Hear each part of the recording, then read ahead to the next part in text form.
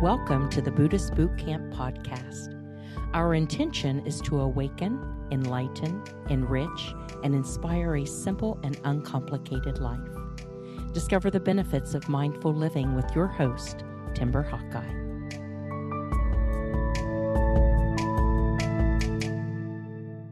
Salt is delicious, but using too much of it will ruin your meal. In the hands of a skilled surgeon, a knife can save a life, but it can just as easily end it. And activism is a powerful force that can be constructive if we are sensible, but activism can also be terribly destructive if we are careless. Mindfulness is the tipping point. And to be clear, I'm not suggesting there is a right or wrong way to go about it. My concern, as always, isn't so much with labels such as Buddhist or Christian, for example, but whether our behavior is Buddha like or Christ like. So I offer some reflections and questions for you on this divisive topic on how Buddhists can be activists. Since compassion is meant to fuel our actions, many Buddhists believe it is their duty to participate in social activism on a large scale.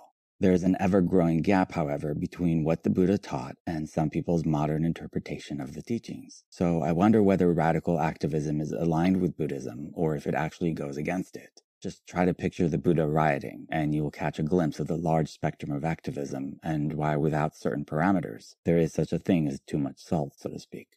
At the core of Buddhist teachings is the Eightfold Path to end our suffering.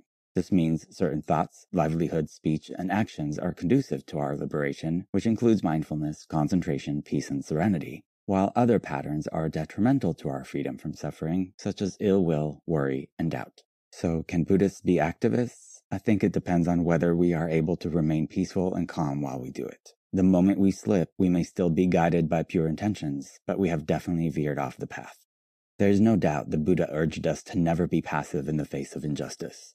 Thich Nhat Hanh called his own approach engaged Buddhism, but he did so with a stern warning. Do not be bound to any doctrine, theories, or ideologies, even Buddhist ones, he said. They are meant to guide you, but they are not the absolute truth. He went on to say, Do not think the knowledge you currently possess is changeless. Remember to practice non attachment and do not force others to adopt your views, especially children, but rather help them renounce fanaticism by renouncing your own.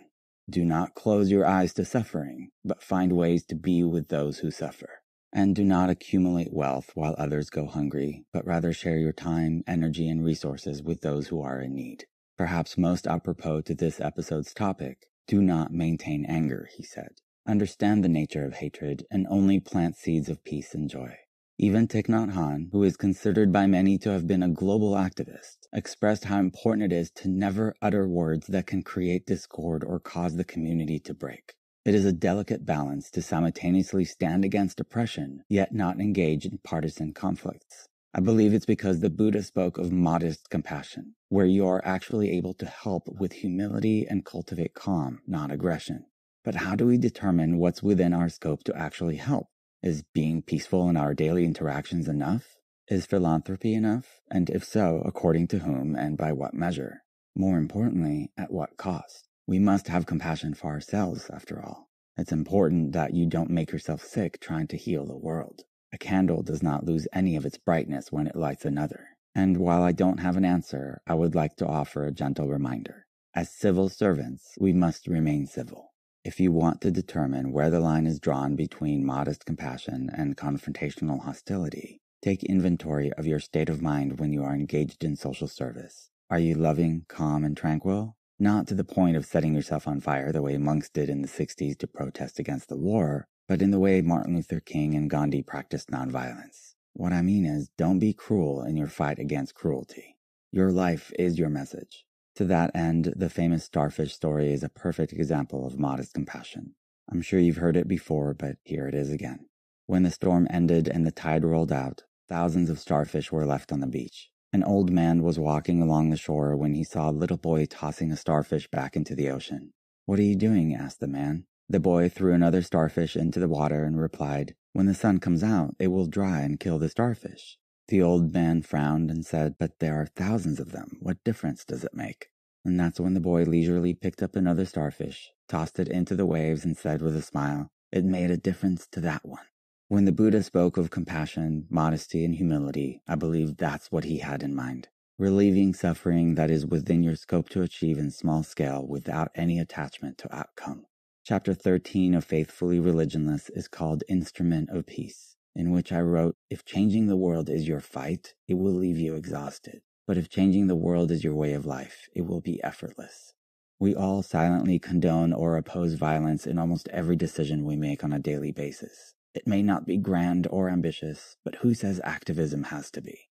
Isn't rescuing a single starfish enough, especially if we each vow to save one? As the Dalai Lama said, if you can help, then help. But if you can't help, at least do no harm. Just remember, as civil servants, we must remain civil. That's how we can be Buddhists and activists at the same time. Some would say that me writing books and having this podcast is a form of activism. I just hope it's like helpful rain on a thirsty crop rather than a downpour that drowns everything in its path.